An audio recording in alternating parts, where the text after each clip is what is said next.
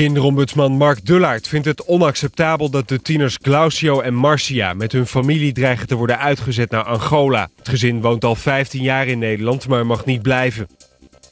De Hongaarse politie heeft zaterdagavond een vijfde verdachte opgepakt... die te maken zou hebben met de vluchtelingentragedie... die aan 71 mensen het leven kostte. Het gaat volgens de Hongaarse politie om een Bulgaarse man.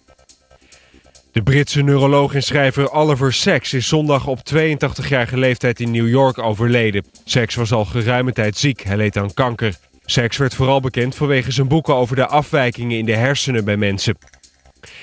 Zondagavond en in de nacht van zondag op maandag trekken opnieuw zware regen- en onweersbuien over delen van Nederland. Het KNMI heeft voor het hele land code geel afgegeven. Ruim 240 gedetineerden uit Noorwegen worden vanaf begin deze week geplaatst in de leegstaande gevangenis Norgerhaven in Veenhuizen. Vanaf dan geldt een Noors gevangenisregime onder leiding van een Noorse gevangenisdirecteur.